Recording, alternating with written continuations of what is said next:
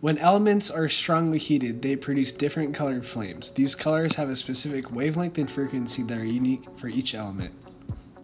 In this lab, we were able to use a visible light spectrum chart to determine the wavelength and frequency of light based on the color that was produced after the metal was heated. I selected three of my favorite colors to show y'all today. First, we have lithium chloride, and when it was heated, it revealed a bright pink color. Based off the color, we were able to estimate the wavelength to be around 690 nanometers and the frequency to be around 4.35 times 10 to the 14th power hertz.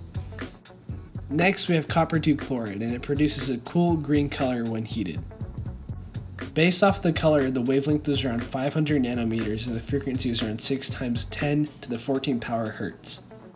Lastly, we have barium chloride, it makes a bright yellow color when heated. And based off the color, the wavelength is around 570 to 600 nanometers, and the frequency is 5.17 times 10 to the 14th power hertz.